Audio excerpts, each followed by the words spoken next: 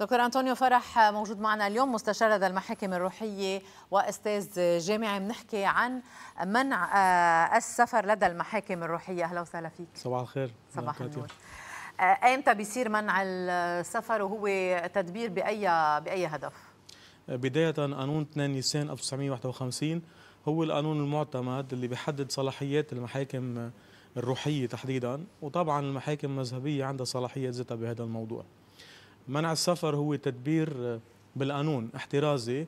ضمانا لحقوق معينة ممكن آه، تخاف المحكمة إنه ما آه، تضمن حق الشخص اللي عم بيطالب فيها من الشخص الآخر اللي هو بين الزوج آه، والزوجة.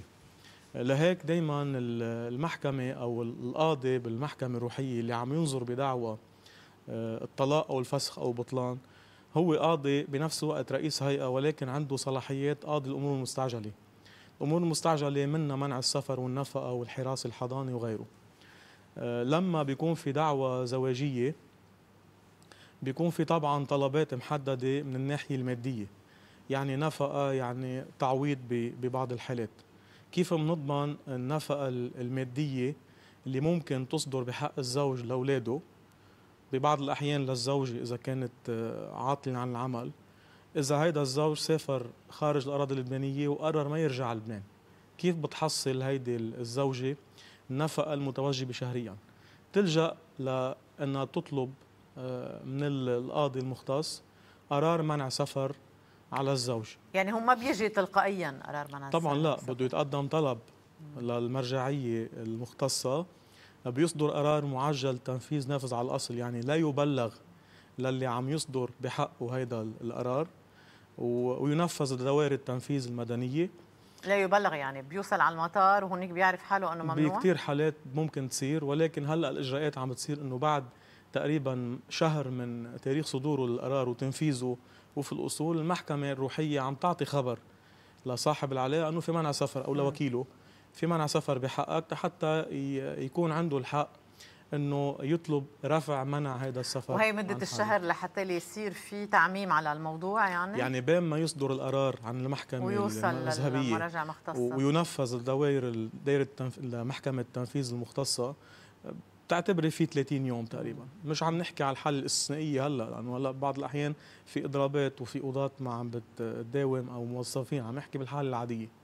لهيك بنعطى خبر بعد شهر حتى يلجأ للقانون. يرفع منع السفر على أساسه ويشوف شو لازم يعمل.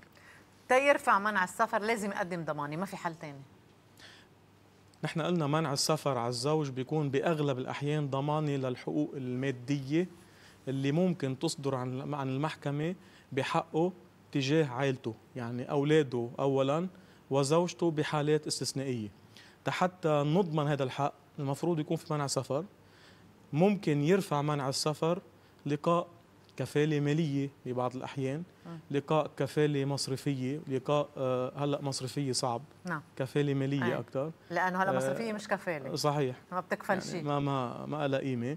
أو لقاء كفيل متضامن. ممكن يعني القاضي يشوف إنه في شخص جاي يتعهد عنه إنه في حال أخل بالدفع.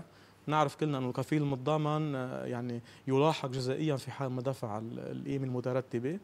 أو بعض الأحيان آه، كفالة عقارية أو أو أي أو أي وسيلة بتضمن حق هيدي العائله وبيوافق عليها القاضي المختص اللي هو آه، قاضي الأمور المستعجلة إذا كان رئيس هيئة أو إذا كان قاضي منفرد.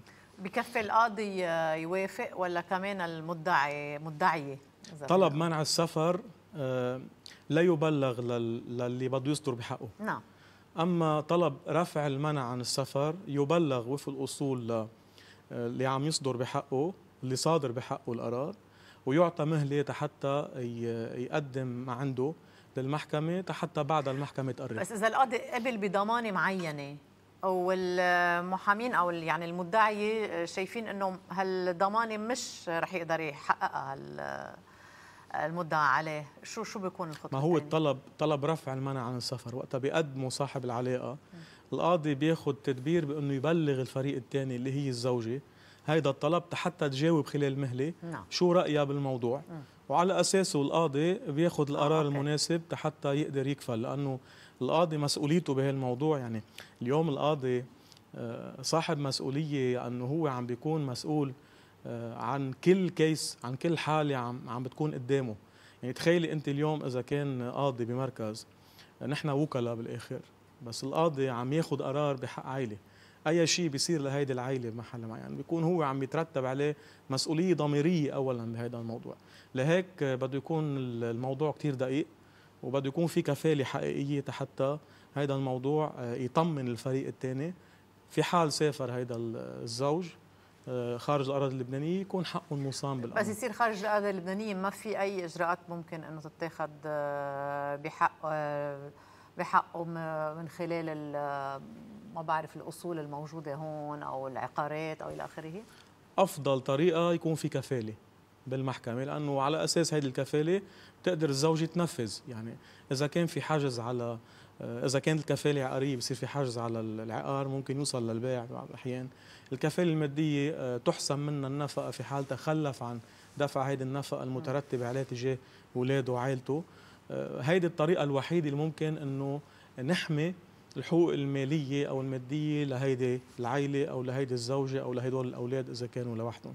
غير هيك ممكن يكون في وسائل قانونية إذا كان خارج الاراضي اللبنانيه ولكن كثير صعب إن إنه الزوجة آه، تقدر تحصل حقوقها أو حقوق أولادها لأنه بتعرفي وقت واحد بيصير خارج لبنان آه، صار الموضوع أصعب من الناحية القانونية محامين ومصاريف ورسوم وملاحقات.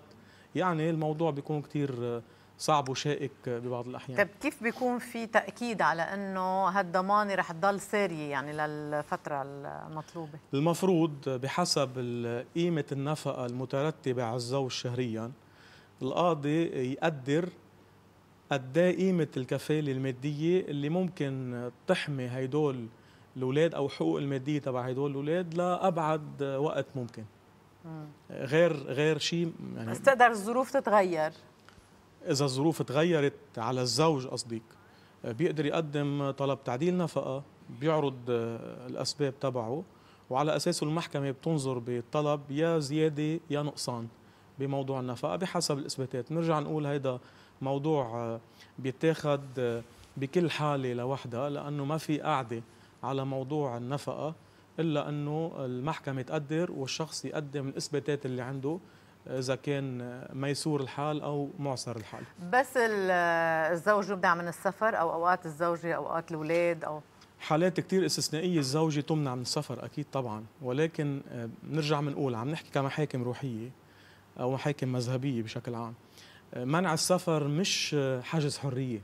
يعني اليوم القاضي أو المحكمة بدها تتعاطى مع الموضوع بالمنطق القانوني مش بالمنطق الشخصي أو المنطق السلطوي لأنه بنكون عم نروح على حجز حرية. هيدا تدبير احترازي. التدبير الاحترازي بيعني إنه يمنع أحد الفريقين من السفر حماية لحقوق الطرف الآخر.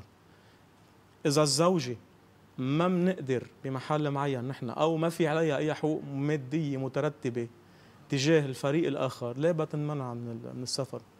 ما في حاجة تنمنع هو الموضوع تعلق أكثر بالحقوق المادية للأولاد. لهيك من الرائج لدى المحاكم الروحية والمذهبية إنه يمنع ينمنع الزوج أكثر من السفر لأنه دائما النفقة الشهرية تجاه الأولاد تقع على عاتق الزوج بأغلب الأحيان عم نقول. بحالات استثنائية جدا. يعني إذا كان الزوج آه، مصاب بمرض عضال آه، ومعسر الحال ولا ولا يملك الإمكانية لأنه يقوم بالعائلة من الناحية المادية. والزوجة ميسوره الحال وهي كانت عم تصرف على الأولاد. فجأة قررت الزوجة تترك البيت وتقدم دعوى طلاق أو بطلان أو فسخ وتغادر الأراضي اللبنانية وتركت أولادها. هون بهالحالة ضمانة لحقوق الأولاد برجع أقول مش الزوج ممكن تمنع تمنع عن السفر حتى آه، تحكم أو يقرر بحقها كفالة مادية يعني فيس فيرسا حتى نضمن إنه هول الأولاد ما يقعدوا آه، بدون مصروف شهري أو ينحرموا من التعليم أو من الطاوله بالاستشفاء كل الهدف الأولاد آه، دائما الموضوع دائما بيتعلق بالأولاد في حال في أولاد. الاولاد بضل فيهم يسافروا لأنه القاصرين ما بيسافروا بلا أهلهم مبدئيا. هيدي المشكلة الحقيقية اللي عم بتعاني منها أغلبية المحاكم آه، الروحية والمذهبية. للأسف آه، نحن كوكلاء ببعض الأحيان أو كاستشاريين بالقانون بنوقع ب يعني بنفهم الوضع العاطفي عند الأم. وقت بتجي بتقول لك أنا مش قادره أسفر اولادي أخذهم مشوار آه، برات لبنان مع إنه رفقاتهم عم بيسافروا. أو حتى البي بعض الأحيان. المشكلة بالموضوع إنه الأولاد القاصرين في حال ما في توافق بين الزوج والزوجة أثناء الدعوة أو بين الوالد والوالدة عند انتهاء الدعوة آه، يمنعون من السفر بموجب قرار ولا يرفع منع السفر عن الأولاد إلا بالموافقة الشفهية والخطية أمام المحكمة من الزوجين أو الوالدين معا. ولا ممكن المحكمة تقدر تحمل على عاتقها هيدي المسؤولية لأنه اذا عطيت رفع منع السفر عن الأولاد للوالدة أو الوالد نعم. وما رجعوا على لبنان. أخذوا الأولاد وما رجعوا على لبنان. شو بنعمل كمحكمة بهالحالة؟ كيف بتتصرف المحكمة بهالحالة؟ وشو مسؤوليتها الضميرية والقانونية أمام الشخص اللي آه، عم يشتكي على هذا الموضوع قدامها بس هو لما بيكون في منع سفر على الزوج الزوجة منا آه، قادرة تاخذ أولاد قصر وتروح فيهم. وقتها بيصير في دعوة بالمحكمة الروحية. المفروض أحد الزوجين يلجأ للمحكمة ويطلب استصدار منع سفر على الأولاد. تما يعودوا يقدروا يسافروا برات لبنان إلا بإذن خطي. أو بحكم رفع منع عن السفر من المحكمة صاحبة الصلاحية في حال الموافقة الخطية مع بعضهم. بتقولي لي مثل ما كثير بيقولوا نحن عندنا قناعة إنه في محل معين الاولاد مصدومين بيكونوا لأنه نحن عندنا قناعة ببعض الأحيان إنه طيب هيدي الأم عايشة بلبنان وشغلها بلبنان وحياتها بلبنان. مستحيل إنها تقدر تاخذ الاولاد وتفل من لبنان وكل هول موجودين بلبنان. نعم. يعني ما عندها مصلحة هي أصلا انها تعرقل حياتها أو انها تعرض حالها لهذا الخطر. ومع هذا وكله ما بترفع المحكمة لأنه منع ممكن السفر يكون في استثناءات. لأنه دائما بالقانون في 5% ظلم ينتج عن القانون وما له حل. نعم. يعني كمان المحكمة ما بتقدر قد ما كان عندها الإمكانية المحكمة إنها آه، تضبط عمل آه، تضبط تصرفات الزوج أو الزوجة أو الوالد أو الوالدة.